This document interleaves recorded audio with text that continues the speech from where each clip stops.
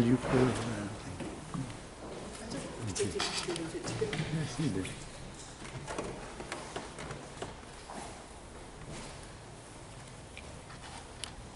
Hello everybody and welcome to St Giles. It's lovely to see so many people here. I have to admit we're all a bit apprehensive because this is a new venture for us and we really want people to get, get something out of it. Certainly an awful lot has been put into it. And it's my pleasure to introduce, my colleague I haven't done this before, um, to introduce uh, Andrew to uh, set the series off. He's going to give an introduction so that we know what we're about and all the um, trimmings that go with these talks. So, without any more ado, welcome. About November last year, I was asked to give a talk at um, St John's, and they said to me, um, "Come and come and give a talk because and talk what, on whatever you like, because the people who are here don't understand much about what Christianity is about." And that that very statement, I think, is actually quite true of the society we're living in at the moment we often assume that people understand what Christianity is at its core. But many of the things that they hear about in the press or when they're thinking about what church business is doesn't seem to relate to the very essence of what Christianity is. And so this course is trying to say if you're trying to define what is at the heart of Christianity? What would you give someone? What are the messages that you would try to set out before them? So, in this course, we are looking at eight different aspects of the core of Christianity. And we start off with what I think is probably at the centre. So, we'll start off with a quote that you probably all know quite well. In the beginning was the Word, and the Word was with God, and the Word was God. So, what is the Word? What's the Word that's key? To try and find out, I'd like to ask you a question. If you look back over the 20th century, what is the most significant invention that happened in the 20th century? What would it be? You see, when I considered that, I thought, well, actually, I may not like having to admit it, but probably the most significant invention in the 20th century was the mobile phone. The mobile phone has revolutionized the way we live. Not just in this country, around the whole world. I went to Africa. And what happens in Africa? That all the phones got trashed by the wars. But they use the mobile phone. Mobile phones are everywhere. Mobile phones allow people to connect with other people without being in a certain place, without having set a time that they're going to communicate. Just tap in a number and send off the message.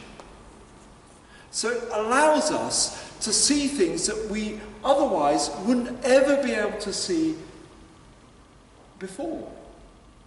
What is it? What is the message that somebody would give to you if they are in the very last moments of their life? Can you put the washing in? No, probably not. Have you cleaned your shoes? No. What is it? What evidence have we got? Well, you may remember the disaster of 9 11. The mobile phone came to, into its own on that day for me. We found out what the message was that people want to share at the extremity of their life. What is it? Three words I love you. I love you. That's what people want to say. The Word. What is the Word? In the beginning was the Word, and the Word was with God, and the Word was God. I suspect that the Word is love. And John's Gospel, John really does major in on this.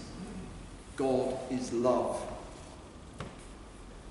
So, that's where we are. We know what people say in the extremity of life. But do we live that in our life day to day?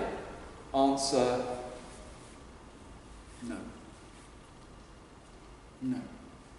We have lots of other things, lots of other measures that we place upon us that we say this is our value system.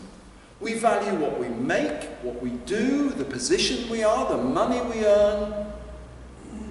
But do we value love? Do we, have we got the guts to say that my faith belief means that love is of the most paramount importance in my life?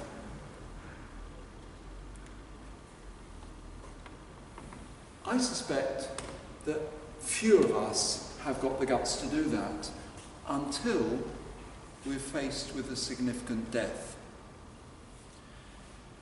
When somebody dies in your life that you know and love and has been a major part of that life, of your life, when they die, you reassess. And at that point, you make a discovery that the people you go to their funerals are the people that have loved you and you love them. Love is the ultimate value, and we underline it every time we hit that last moment.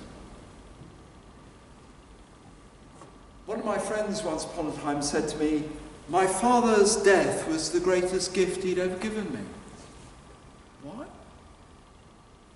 Not because of his inheritance, but because that very act of dying made him realize that love was the most significant thing in his life. And from that moment, his life changed. The value system changed.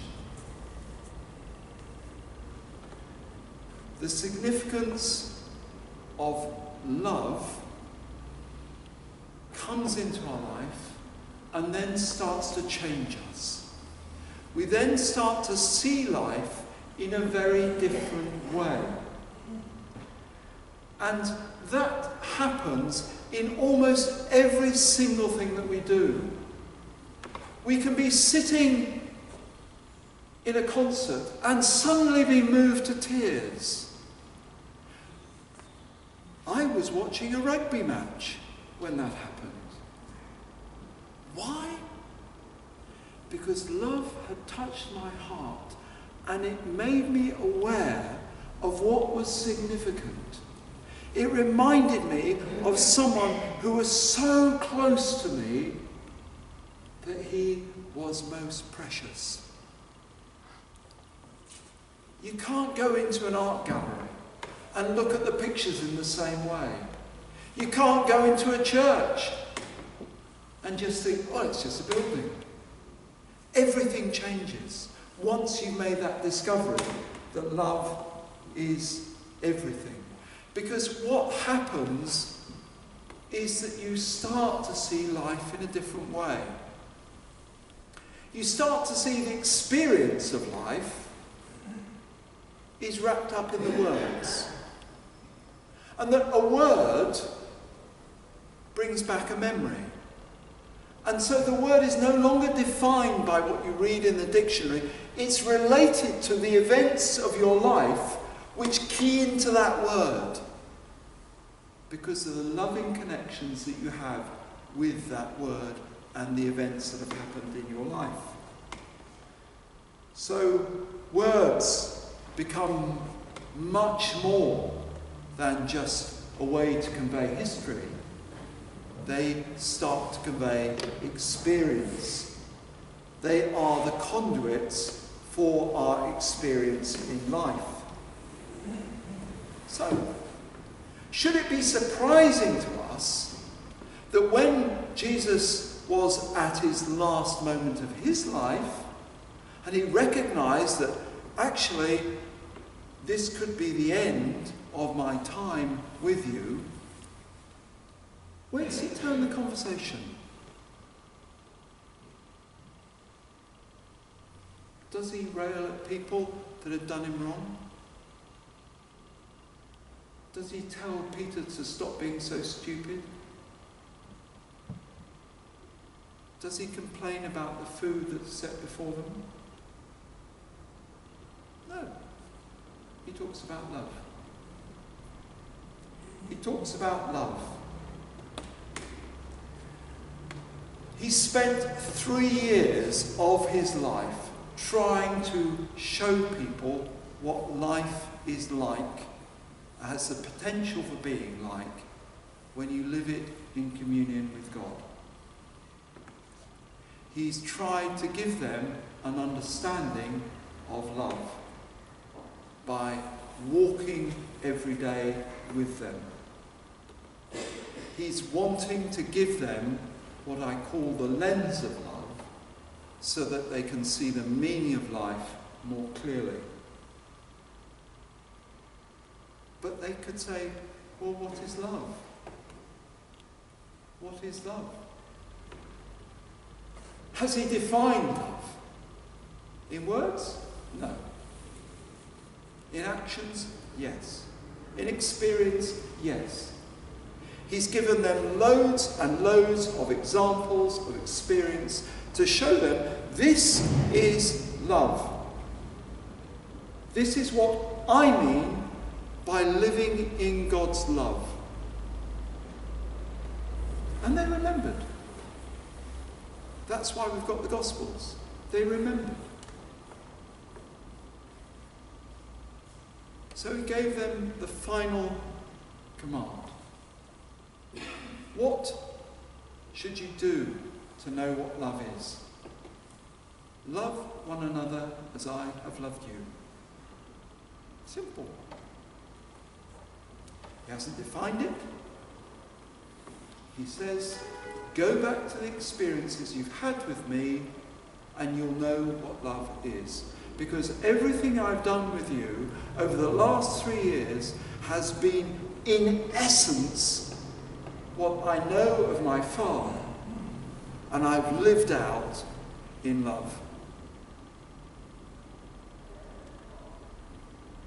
The trouble is that our memories play tricks. And what our memories do is we tend to exaggerate the past.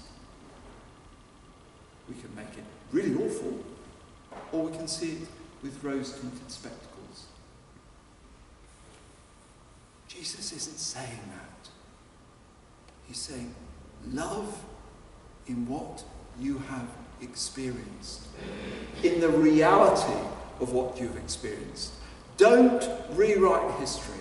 Don't try and gloss over the nasty bits. Love is in the reality of the life that we have shared. You see, when we try to rewrite history and we try to make it all nice and comfortable, then actually what we're doing is devaluing love. What we're doing is we're saying, well, I like ice cream. And so love has got to be the mega liking of ice cream. And Jesus is saying, it's not. Love is far, far greater than that. Love is enabling you to take the reality of life and transform it into something beautiful.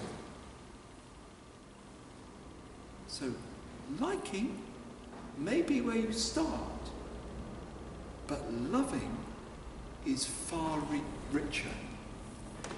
And it is only when you acknowledge the imperfections that you start to work into the reality of love.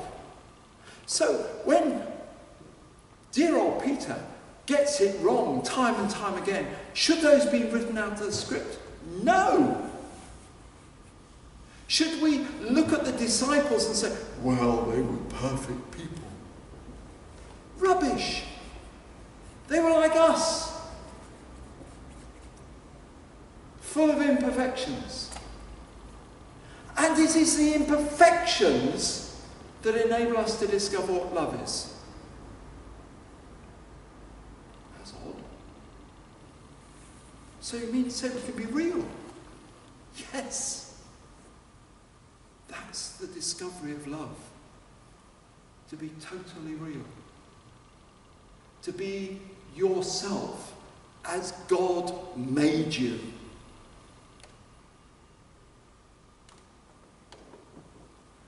When we move out of the zone where we're just presenting a fake person into a zone where we're creating where we are our reality, we become very vulnerable. What Jesus showed us on the cross is don't stop there. Be vulnerable. Be yourself. Because in, only in that way will you know the love of God in its entirety. Love is not about partial acceptance. It's not about being good. It's about being real. It's about letting God into the situation where you are so that that, trans- that transformation through love can occur. So love is only real when we accept reality. So the definition of love that the Christian heritage carries is far greater than the definition that our society likes to promote. Our society knows the importance of love, but it's trying to redefine it in a nice, cosy way. What it's trying to do is it's trying to say romantic and sexual love, yes, we understand that. I'm not sure the church understands sexual love, but we won't go there. But what Christianity is offering is an understanding of love which is far richer than romantic, sexual, or any other type of love that you have met. It is all embracing. It is the totality of our being. So, why should we do this? Because it's so costly. It means that we've got to expose ourselves in our entirety of our reality, of our being. We've got to take risks. Why should we do it? Why? Because life becomes beautiful. You meet people at a much richer and deeper level. But in the process, you become in contact with God. That's the purpose of prayer. To bring you deeper and deeper and deeper into that contact with God. So that you may know love in all its fullness. St. John says, God is love. And those who live in love live in God, and God lives in them. I think those are some of the truest words in the Bible. What Jesus is trying to do is to take us from the where we are into God's kingdom. He wants us to know what it's like to live in the hands of God. To live with that richness of being in God's kingdom. He wanted his disciples to know the power of God for themselves, but not in just the special circumstances of life, but in all aspects of life, in the everyday. Because he knew that by doing so, society will be transformed.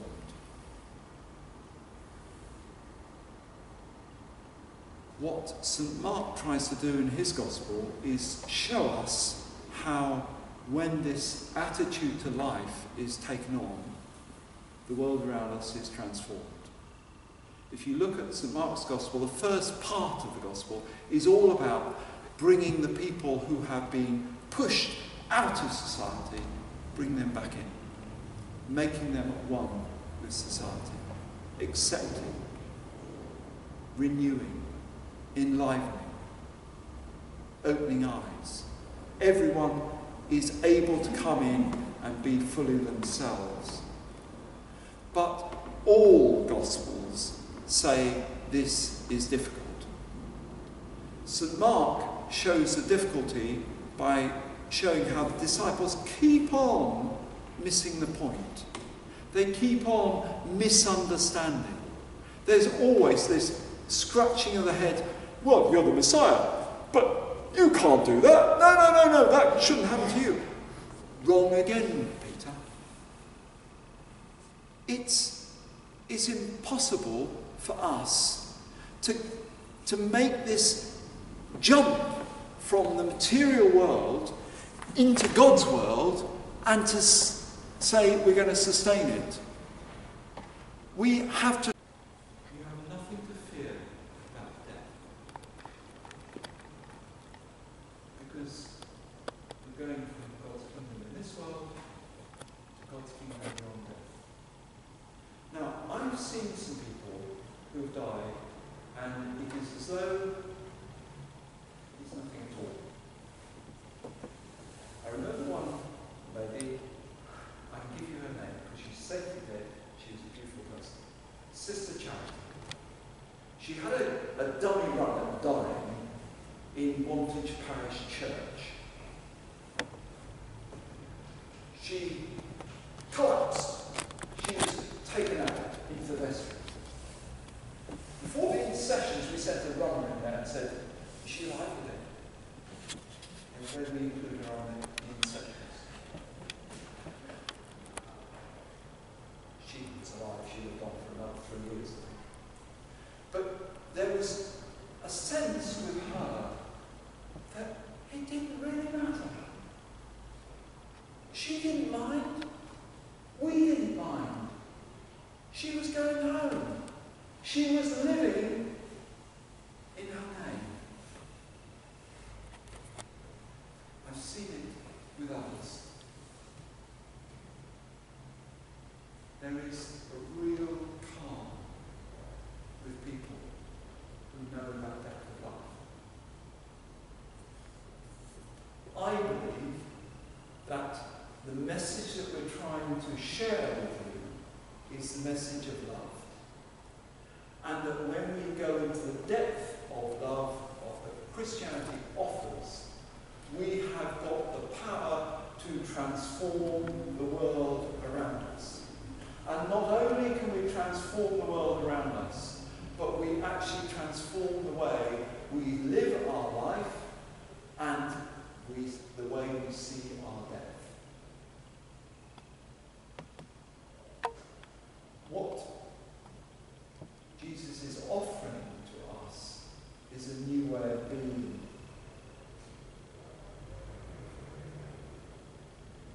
It is going to challenge us. It is going to transform us. And what we want to do with this course is to take you through some of the key aspects of love that enable us to live love most fully. If you look around the walls, you'll see